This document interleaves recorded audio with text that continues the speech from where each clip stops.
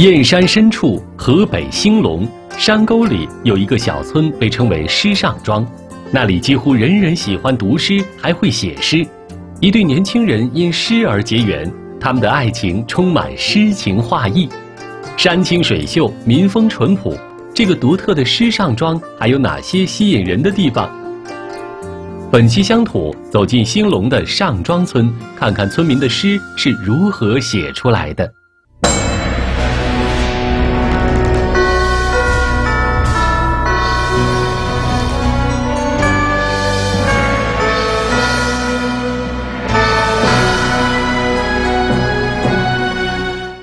看乡土长见识，观众朋友大家好。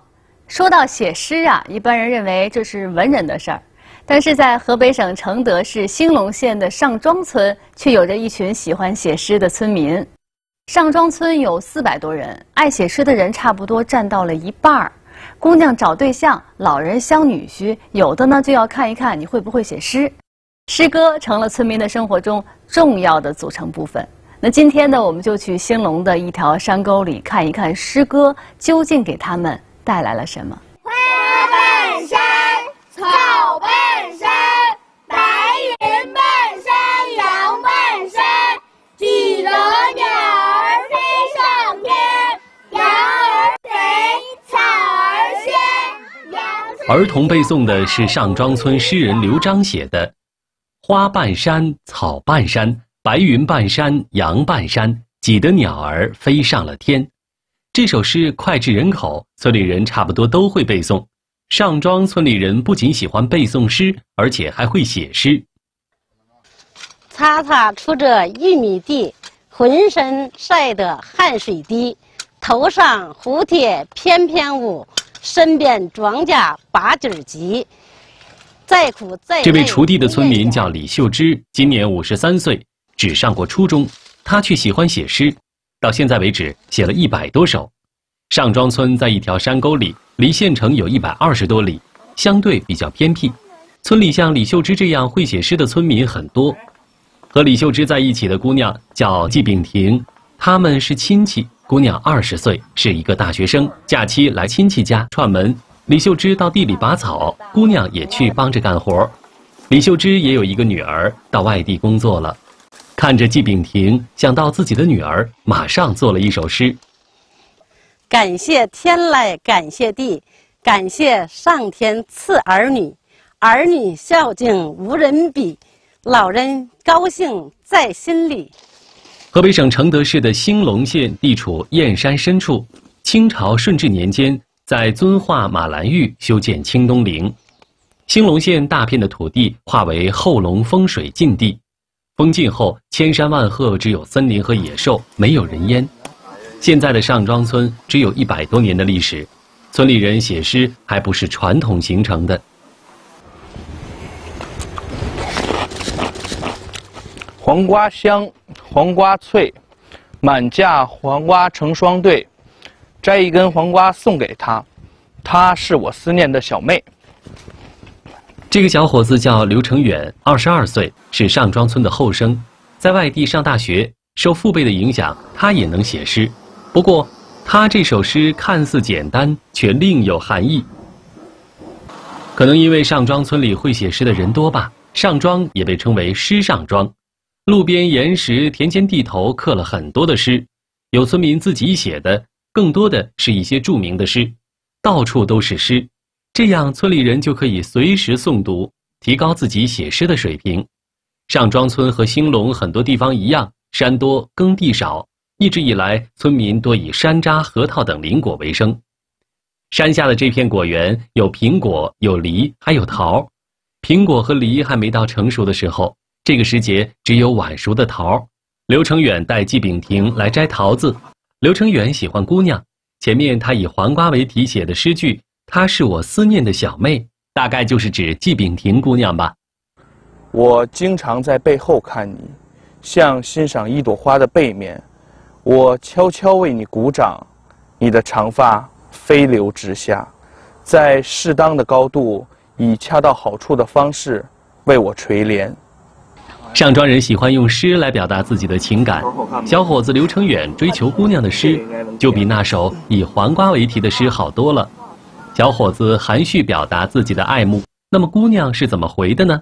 我们在桃园里放牧歌声和果实，树枝间的阳光清澈而透明，掩映在枝叶间的点点桃红，是我此刻的心情。姑娘用桃红来比喻自己羞涩的状态，说明姑娘还是喜欢小伙子的。田间地头歇晌落汗之作笔，茶余饭后谈天说地诗为词，是上庄人的生活常态。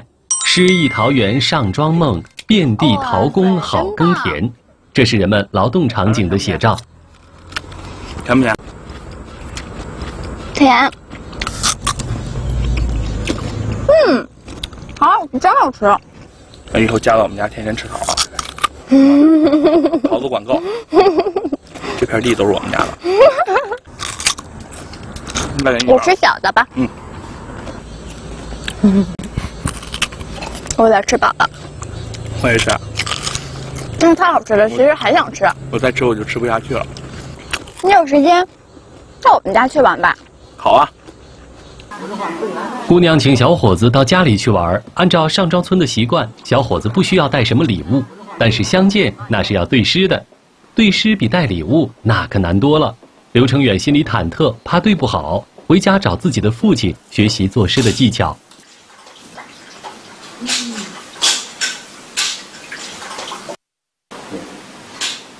梳头的是刘成远的父亲刘福军。刘福军是位诗人，中国作家协会的会员，还是承德市作家协会的主席。他靠写诗走出了上庄，在上庄村靠写诗改变人生的村民很多，最有名的是刘璋。关于刘璋，一会儿再说。先看看刘福军如何教儿子写诗。成员，写诗是这样，这个写诗的最高的品质是真挚和朴实。就是写诗，应该是用你内心最大的力量，捕捉最小化的生活。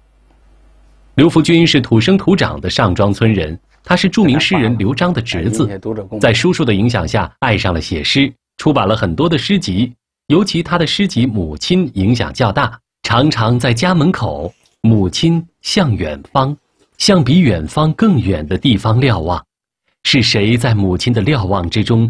如同灯火瞭望群星，那灯火暖暖的照亮家乡。这是刘福军写给母亲的诗。他特别孝顺，母亲快九十岁了，每隔一段时间就回来陪伴母亲。刘福军在母亲的炕头教儿子写诗，那就是告诉刘成远，写诗要有真情实感。村里的小溪边有一台石磨，偶尔还会有人用石磨磨豆浆。山里环境好，泉水叮咚，用山泉水磨出的豆浆好。刘成远家磨豆腐，小季姑娘也来帮忙。过去这样的石磨都是用蒙着眼的毛驴磨的，用人来推磨，时间长了就会头晕。不过有姑娘陪伴，小伙子也不觉得累。哎，婷婷，我觉得这个挺好玩的，我即兴作诗一首，你要不要听听？好啊。嗯，黄金台做灶。南山斗取材，渭川水研墨，菩提木为柴。心如君子玉，肤似美人白。最后这两句，你觉得怎么样？肤似美人白，说我呢吗？对，就是说你。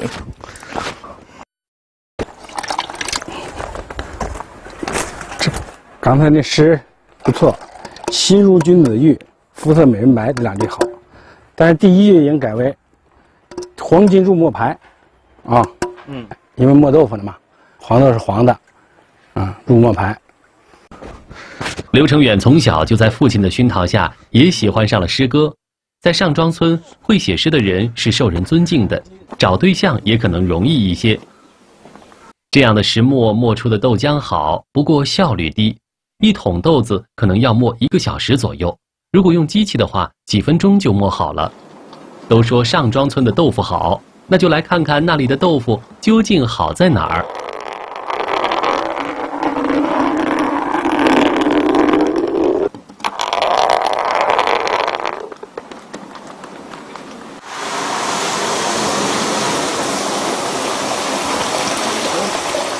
豆浆磨好了先拿去加热加热之前要过滤过滤掉豆渣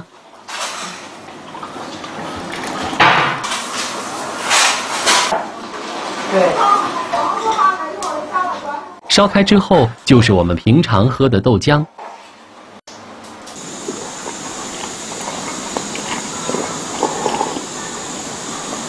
好，真好。豆浆里点上卤水，慢慢的就成了豆腐脑。豆腐脑倒进纱布里过滤，沥干水分，就成了我们平常所吃的豆腐。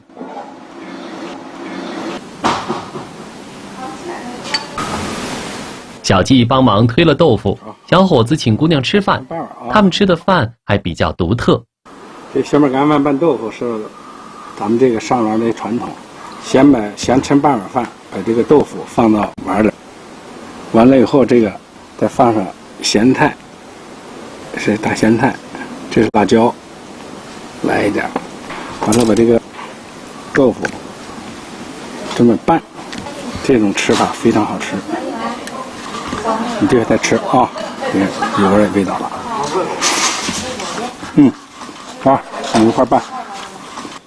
好多地方都是小葱拌豆腐，上庄村却用小米干饭来拌豆腐，这样既有了饭，也有了菜。小季姑娘不是上庄人，吃这样的饭还觉得比较新鲜。真好吃，嗯，豆腐很鲜嫩，咸菜呢辣，但是呢很香。嗯，太好吃了。小季姑娘能到小伙子家吃饭，说明她还是比较认可小伙子的。小伙子如果到姑娘家去，可能就不是吃饭那么简单了。小伙子还要准备和他的家人对诗。上庄村喜爱诗歌的氛围是如何形成的？得到父亲真传的小伙子，不知道能不能通过姑娘家人的诗歌考核。这一对年轻人能成为一对情侣吗？休息一会儿，继续收看乡土。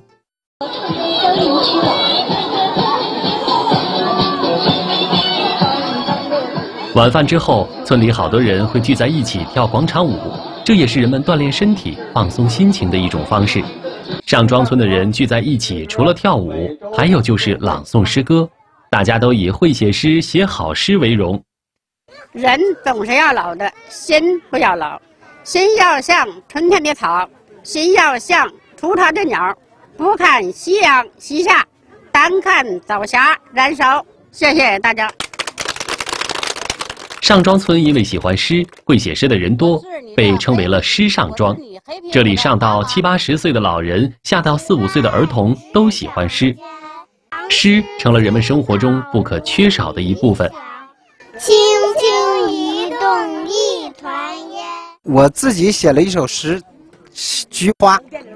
一季清风百花令，独立菊蕊香味浓。秋风有意染黄花，不随黄叶徒伤情。谢谢大家。张金来是一位残疾人，行动不方便，他有时间读诗写诗，这样也可以让他的生活变得充实一些。那灯是泥的。那灯是在怎样深远的风中，微微的光芒，豆一样。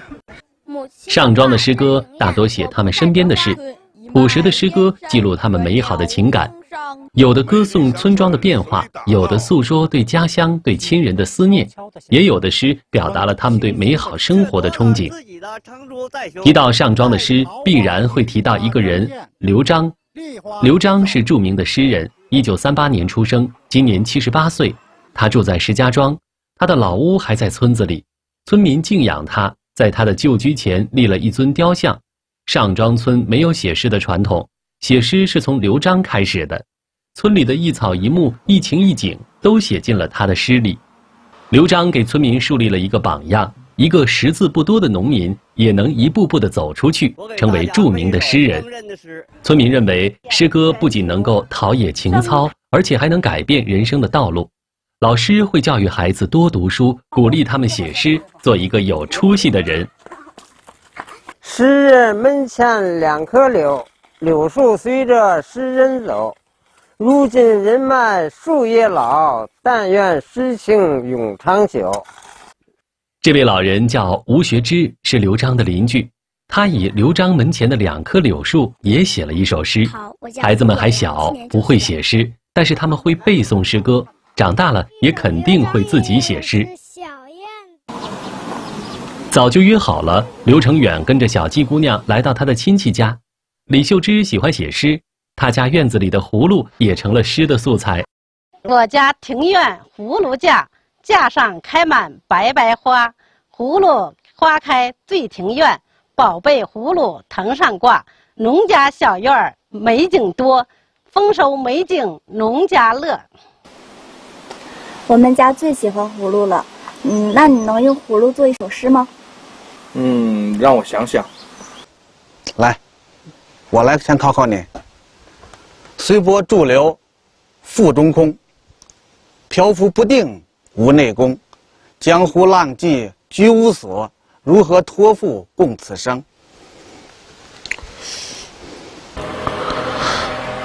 随波不是腹中空，漂浮也非无内功。只因世事多坎坷，笑对沉浮度从容。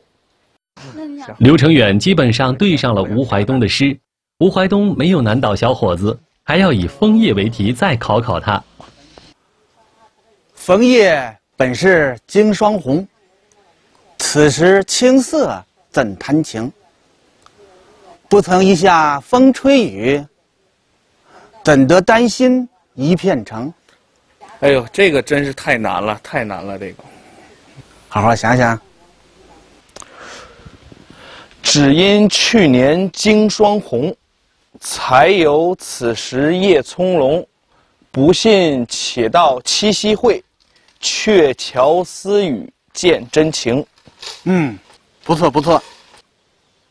相对来说，小伙子《枫叶》这首诗比葫芦对得更好，这让吴怀东比较满意。看刘成远诗对得好，姑娘也高兴，这样就可以和小伙子去约会了。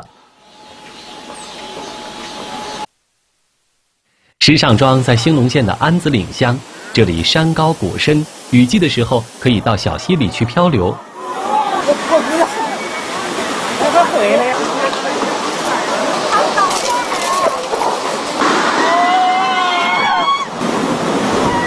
漂流能感受到高山溪流带来的刺激，这让小季姑娘特别的开心。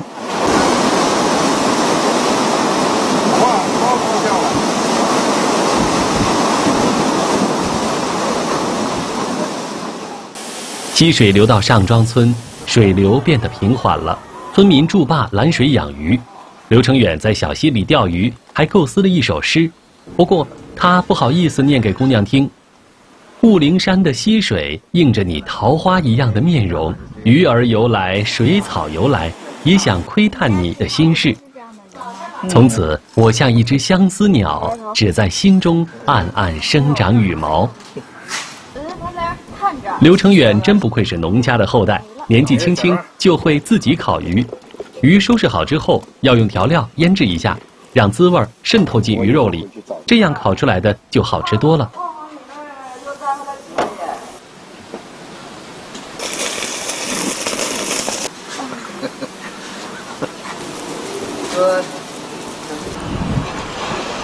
尝尝好吃吗？嗯。味道还可以啊，我尝尝。嗯。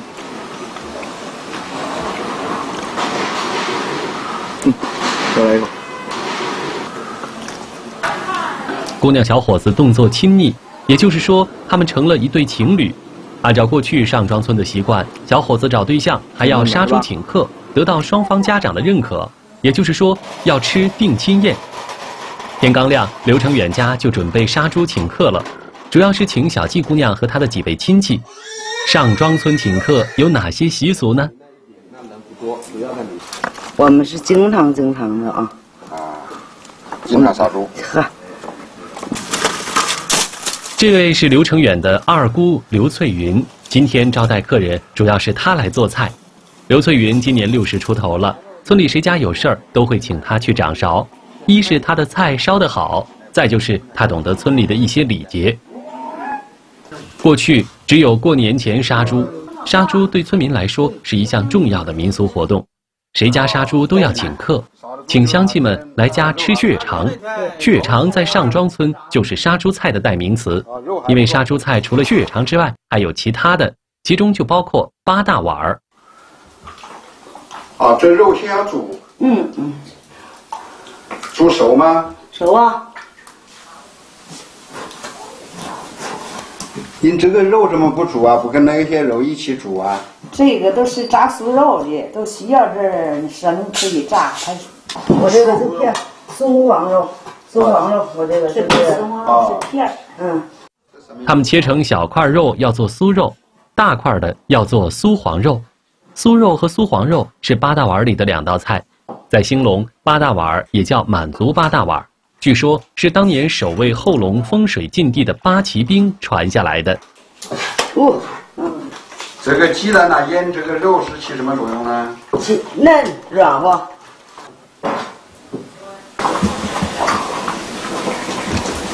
煮过之后的肉捞出来，抹上蜂蜜，准备和酥肉和酥黄肉一样拿去油炸。裹了鸡蛋和地瓜粉的肉放到锅里炸，炸到金黄就可以捞起来。这时候的肉特别香。过去孩子一年难得吃上肉，闻到肉香就会特别高兴。酥肉要下锅炸，抹了蜂蜜的方块肉也要油炸，油炸之后表面金黄。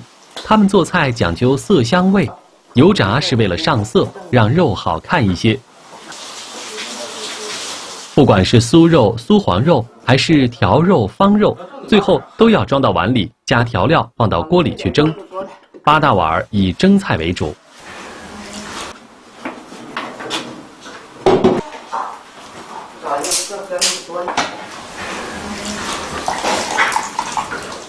煮肉的汤里还煮了骨头，捞出骨头，撕下肉，这又是一道菜。骨头上还有一点点肉，那一定舍不得扔，要啃干净。下面来看看当地杀猪菜里代表性的血肠是如何做的。煮了肉和骨头的汤，要一勺子一勺子往猪血里加，加汤的比例大概是一比一，一半猪血一半汤，最后把结块的血沫子捞出去，这样就可以灌血肠了。兴隆人杀猪请客就会说到家吃血肠，这是请客的一种谦称。血肠不值钱，意思就是来家吃顿便饭吧。实际上，除了血肠之外，还有好多菜。杀猪饭吃的是全猪宴。血肠要趁热吃，所以血肠上桌，宴席就开始了。今天的宴席既有传统八大碗中的酥肉、酥黄肉和条肉、方肉，也有杀猪饭中的血肠、拆骨肉、猪肝等。这一桌菜还是比较丰盛的。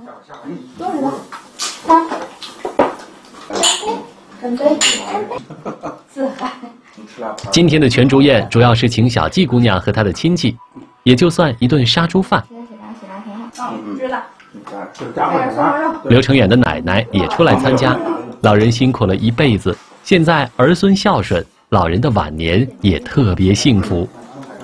我们上庄即使就这么一巴掌大，也有独一无二的指纹。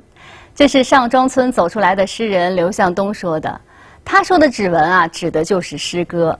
一个偏僻的小山村，深深地打上了诗歌的烙印，被称为了诗上庄。小河轻轻淌，鸟儿把歌唱，春来山花开，金秋果飘香。这就是诗上庄的真实写照。每天看乡土，轻松一下午。如果您想了解我们节目的更多内容，请您关注我们的官方网站农事网、农事网的官方微博、微信、移动客户端以及央视网查询浏览。下期我们不见不散。儿子想法子多挣钱，父亲为什么要反对？咱老公要是得自己钱。祖传下来的手艺，儿子为什么不愿意接手？不愿意，不愿意学。